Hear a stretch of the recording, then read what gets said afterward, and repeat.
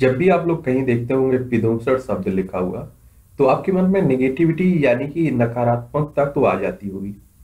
तो सीधा सा मतलब है प्रदूषण से कि कोई भी जैसे वायु है, फिर चाहे आपका जल है, या फिर आप देखते हैं मिट्टी है, कहीं भी आप देखेंगे कि कोई अवांछनीय तत्व उसमें सम्मिलित हो जाते हैं, जो एक तरह से हानिकारक होते हैं।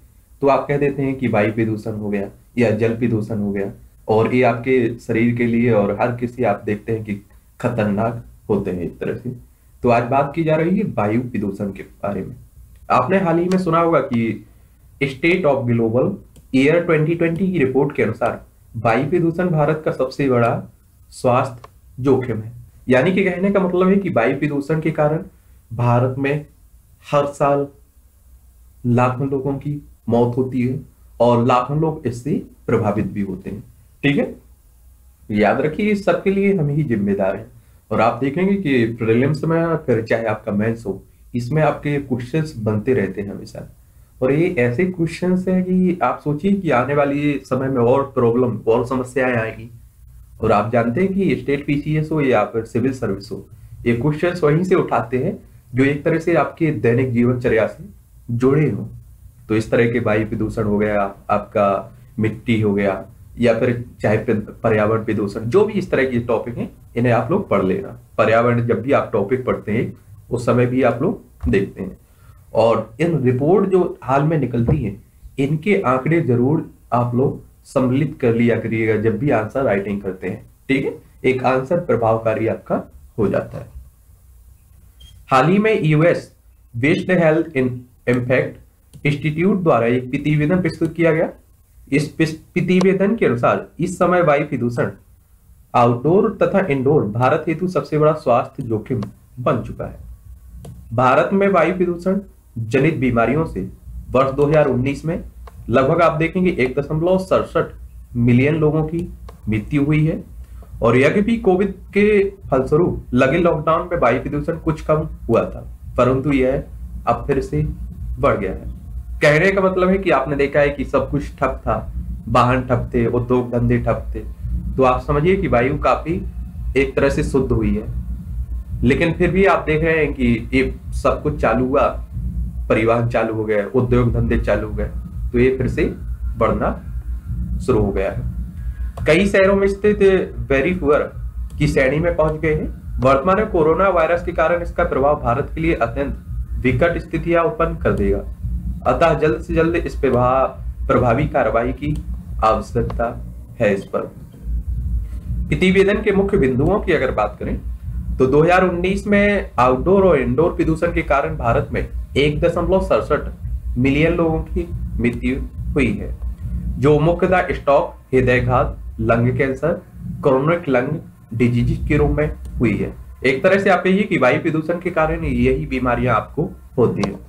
इन आंकड़ों में आप देखेंगे कि एक लाख सोलह हज़ार शिशु भी आपके सम्मिलित हैं। ये सबसे चिंताजनक कारण भी है कि जो आप कहते हैं कि हमारा भविष्य है, युवा हमारे भविष्य या बच्चे आने वाले बच्चे हमारे भविष्य होते हैं, इसमें कोई दोहरा भी नहीं है हमारी। क्योंकि आपके बच्चे ही सुरक्षित नहीं है तो आप सोचिए क्या सुरक्षित है। तो आप एक लाख साठ हज़ार, कोई छोटी संख्या नहीं है तो इसमें बच्चे भी सम्मिलित हैं।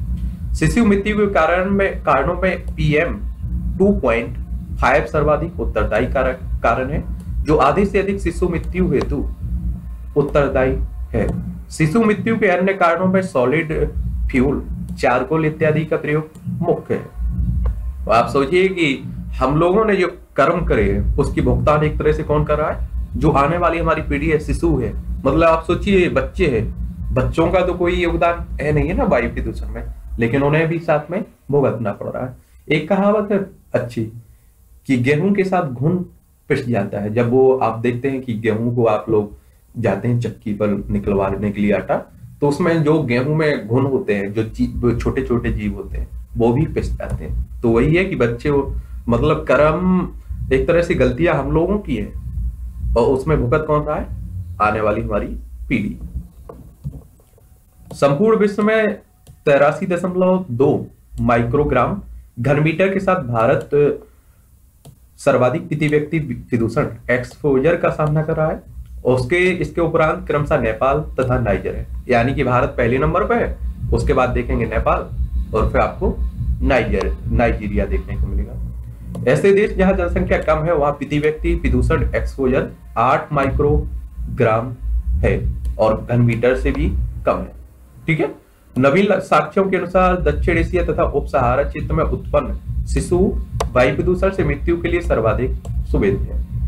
दोहरा संकट की बात करें कोरोना के साथ वायु प्रदूषण।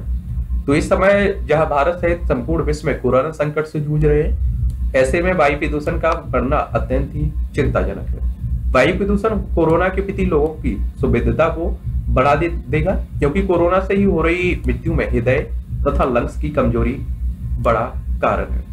आप देखेंगे कोरोना होता कई लोगों को है। और देख रहे हैं आप लोग कि अब मृत्यु दर हमेशा कम रही है इसकी। क्या रहता है कि आप में कमज़ोरी पहले से, आप बीमार है, आपका मतलब हार्ट में कमी है, या आप देखिए कोई कमी है तो आप लोग को हानि पहुँचा सकता है। आपका अगर दमदार है एक तरह से आप कहिए तो आपको कोई हानि नहीं पहुंचेगी इसके लिए एक सीधी सी बात और बताऊँ आप लोगों को कि आप देखिए कि हमारी आर्मी तगड़ी है। एक तरह से हर देश हमारा सपोर्ट करते हो हमारे देश में एक तरह से नहीं घुसते हैं। आप सोचिए कि पाकिस्तान, अगर हमारी आर्मी कमज़ोर होती तो पाकिस्तान कभी भी हमारे अंदर आ जाता। तो इसी तरह से, एक तरह से हम आर्मी जो हमारी है, इसे मान लीजिए अपना शरीर और जो वायरस है, इसे मान लीजिए पाकिस्तान। ठीक है? तो आप जब तक हावी नहीं होने देंगे अपने ऊपर शरीर में, तब तक वो कुछ नहीं उखाड़ पाएगा। ठीक है? यद्यपि वायु प्रदूषण तथा कोरोना में स्पष्ट जुड़ाव के साक्ष्य नहीं प्राप्त हुए परंतु परंतु प्रदूषण से हृदय तथा लंग संबंधी जुड़ाव के साक्ष्य अवश्य प्राप्त हुए। फेफड़े कोरोना से भारत में लगभग एक लाख से अधिक मृत्यु तथा लगभग सात दशमलव पाँच मिलियन लोग संक्रमित हो चुके हैं। यद्यपि भारत के लोगों की कोरोना के प्रति रिकवरी रेट अधिक है, परंतु वायु प्रदूषण इस रिकवरी रेट को कम कर सकने में सक्षम है।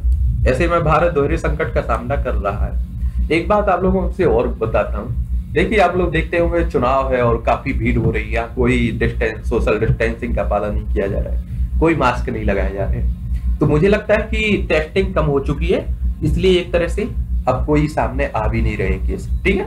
और कोई भरोसा भी नहीं कर रहा है। हकीकत यही है, आप लोग खुद देख रहे होंगे।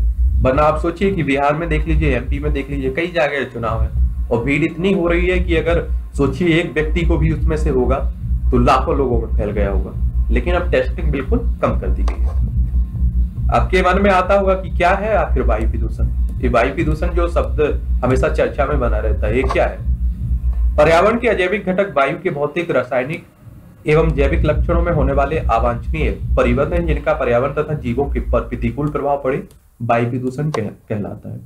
वायु वायु विभिन्न गैसों का मिश्रण है, जिसमें आप देखते हैं अठहत्तर परसेंट नाइट्रोजन इक्कीस परसेंट ऑक्सीजन और ज़ीरो दशमलव तिरानवे परसेंट ऑर्गन आर्गन और ज़ीरो दशमलव ज़ीरो तीन कार्बन डाइऑक्साइड और शेष में आप नियोन केप्टोन हीलियम हाइड्रोजन होनी चाहिए। ये आपका प्रेलम से मैं कई बार पूछ लेता है इस तरह के क्वेश्चन ठीक है? यदि किसी कारणवश वायु का यह समीकरण नकारात्मक रूप से प्रभावित हो तथा वायु की गुणवत्ता का ह्रास हो जाए तो यह स्थिति वायु प्रदूषण कहलाती है। सीधा सा कहने का मतलब है कि आपके शरीर को आप सोचिए कि तीन रोटी की ज़रूरी है। आप पाँच रोटी खा लीजिए। संतुलन बिगड़ जाएगा या नहीं बिगड़ेगा? तो इसी तरह वायु में सबकी एक सीमित मात्रा है। इसमें कभी भी हेर फेर होता है ये वायु प्रदूषण की श्रेणी में आ जाता है।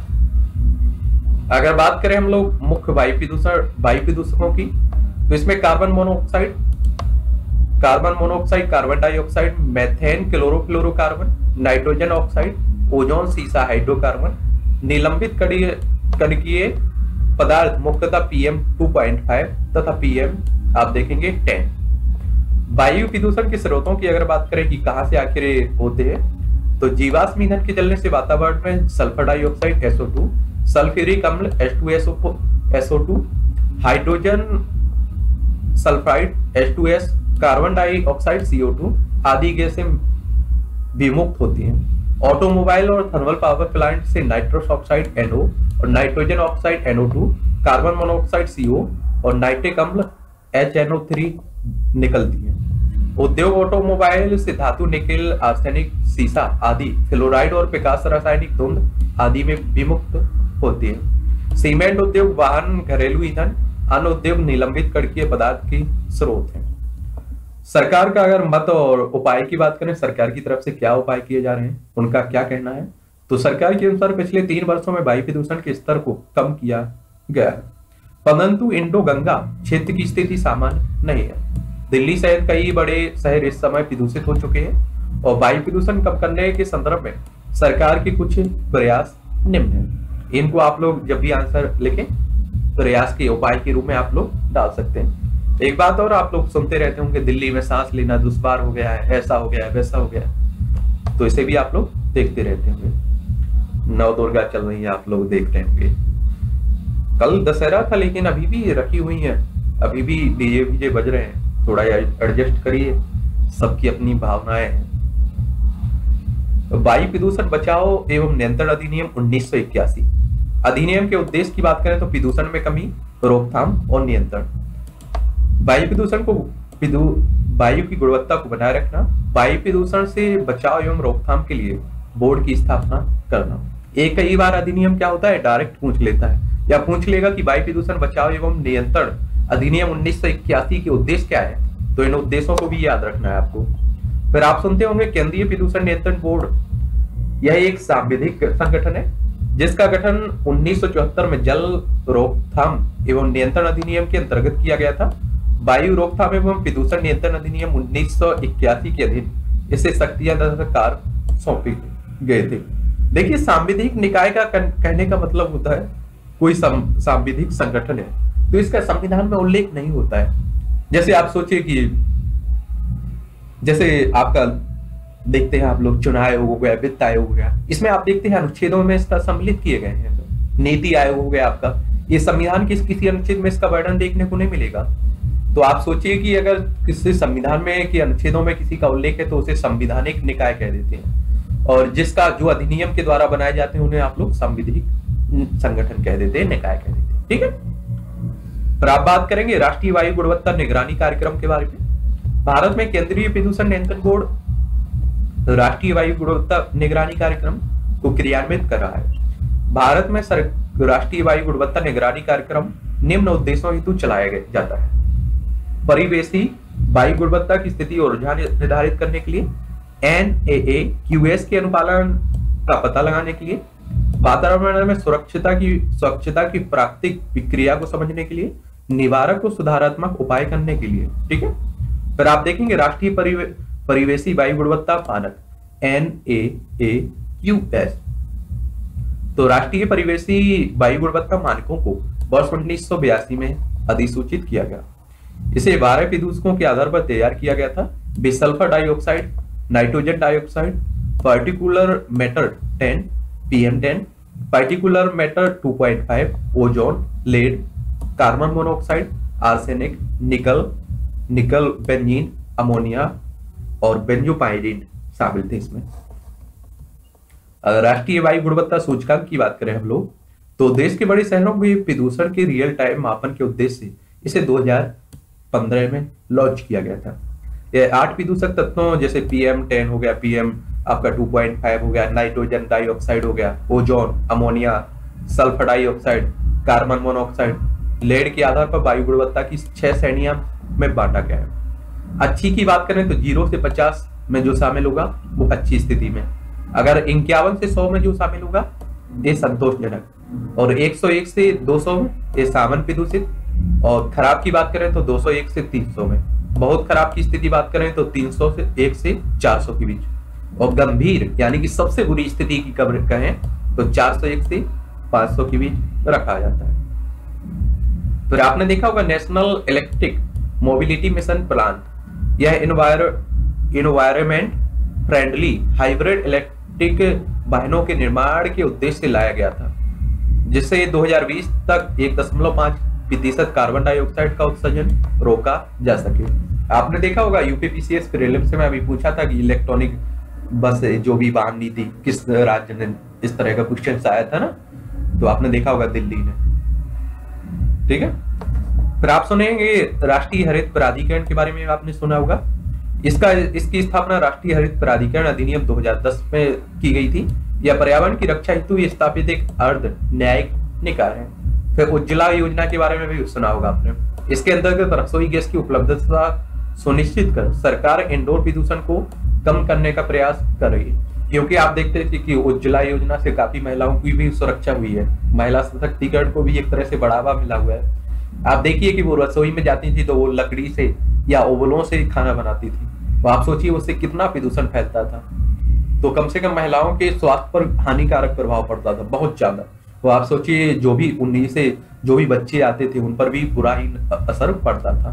तो काफ़ी अच्छी योजना रही है। फिर आपने देखा होगा कि जन भागीदारी की आवश्यकता। यानी सीधा सा कहने का मतलब है कि कोई अकेले कुछ नहीं कर सकता है। आज अगर आप कहें कि जो स्वच्छ भारत अभियान सफल रहा है काफ़ी हद तक तो इसमें आपका सबसे बड़ा योगदान रहा। मैं तो कहता हूँ कि प्रधानमंत्री से ज़्यादा आपका योगदान है, आप सभी का। क्योंकि आप सभी ना करते तो आज से पहले भी इस तरह की कई योजनाएँ बनाएँगे, लेकिन कभी सफल नहीं हुई ठीक है? सरकार द्वारा वायु प्रदूषण को कम करने के उद्देश्य से विभिन्न प्रयास किए गए, परंतु अपेक्षित सफलता प्राप्त अपेक्षित सफलता नहीं प्राप्त हो पाई। उद्योग जगत, वाहन, घरेलू ईंधन, पराली जलाना इत्यादि अभी भी दैनिक प्रदूषण का कारण है। अतः ऐसे अतः ऐसे में आवश्यक है कि स्वच्छ भारत मिशन की तरह प्रदूषण के लिए भी जन आंदोलन चलाया जाए। प्रदूषण जैसी समस्याओं के लिए व्यवहारिक परिवर्तन कारगर उपाय है। देखिए, सबको रोका जा सकता है ऐसी कोई भी समस्या नहीं है जिससे ना लड़ा जा सके, जिसे ना रोका जा सके। एक सीधा सा आप सोचिए कि पराली जलाते हैं। पराली कहने का मतलब है कि आपकी फ़सल कट जाती है, उसके बाद टूटे टूटे बचते हैं ना, उसे आप लोग क्या करते हैं? जला देते हैं। इससे देखिए दो तीन नुकसान है। आपकी फ़सल में देखिए, अगली बार आप जब भी कोई फ़सल बोएँगे उसमें उत्पादन कम देखने को मिलेगा। दूसरा वायु प्रदूषण। तीसरा, याद रखिए, जो आपके एक तरह से केंचुआ को, केंचुआ रहते हैं, इसे क्या कहते हैं? किसान का मित्र भी कहते हैं। ऐसे कई आपके जीव रहते हैं मिट्टी में, जो उसे एक तरह से नुकसान पहुँचा देते हैं, ये जलाने वाली प्रक्रिया। तो इसमें सीधा सा आप क्या कर सकते हैं कि आप लोग क्या करिए कि जैसे ही आपकी फ़सल कटती है उसके बाद आप लोग कई मशीनें आने लगी हैं कि वो भूसा में बदल देंगी छोटे छोटे टुकड़ों में बदल देंगी। उसके बाद क्या कर सकते हैं आप लोग की उसकी जुताई कर दीजिए। तो क्या होगा, खाद में बदल जाएगा। समझ रहे हैं आप लोग? देसी खाद एक तरह से बदल जाएगा। वो आपकी फ़सल की गुणवत्ता को भी बढ़ाएगा और उत्पादन भी अधिक होगा। लेकिन इस तरह की अधिक प्रक्रिया नहीं की जाती है। लोगों को निम्न कार्य, कार्यों के द्वारा व्यवहारिक परिवर्तन करना होगा। निजी वाहनों के स्थान पर सार्वजनिक वाहनों का उपयोग, पराली को जलाने से बचना, वृक्षारोपण वनों की कटाई ना करना और घरेलू ईंधन का कम उपयोग करना, जनसंख्या नियंत्रण करना। तो एक तरह से ये आपको, हम सबको मिलकर करना होगा। तो याद रखिए, वृक्षारोपण सीधा सा उपाय है कि आप लोग जन्मदिन पर देखते हैं कि हज़ारों लाखों रुपए खर्च कर देते हैं। इसमें एक अच्छा काम कर सकते हैं कि एक दो पेड़ लगा दीजिए आप लोग। ठीक है? और याद भी बनी रहेगी आपके पेड़ों के ज़रिए। ठीक है? लास्ट में क्या कर सकते हैं? कि वायु की गुणवत्ता हमारे जीवन का महत्वपूर्ण आधार है। पर्यावरण की महत्ता को ध्यान में रखते हुए माननीय उच्चतम न्यायालय ने इसे अनुच्छेद 21 के अंतर्गत जीवन के अधिकार में व्याख्यायित किया है। हमारे सम्मुख बाबा आमटे सुंदरलाल बहुगोड़ा, बिश्नोई समाज और चिपको आंदोलन जैसे कई उदाहरण है, जो पर्यावरण हेतु जन भागीदार की महत्ता को सुनिश्चित करते हैं। जन भागीदार पर्यावरण को कम करने का अत्यंत महत्वपूर्ण यंत्र है। अतः नागरिक समाज के साथ साथ आम जनमानस को भी अपना कर्तव्य पालन करना होगा। तभी स्वच्छ पर्यावरण का अधिकार अपने वास्तविक रूप में अंगीकार हो पाएगा। तो आप देखेंगे कि इसमें सामान्य अध्ययन क्वेश्चन पेपर जो थर्ड है, पर्यावरण एवं पारिस्थितिकी, इससे संबंधित ये आपका टॉपिक था। ठीक है? तो ये ये बात और याद रखिए, जो व्यक्तियों के नाम दिए गए, इन्हें भी आप लोग डाल सकते हैं। ठीक है? इन्हें क्या कर सकते हैं? आंसर में सम्मिलित कर सकते हैं आप लोग जब भी करें। ठीक है यही पॉइंट है इतना काफ़ी आंसर इस, इस तरह के पॉइंट निकाल के आप लोग लिख सकते हैं आराम से।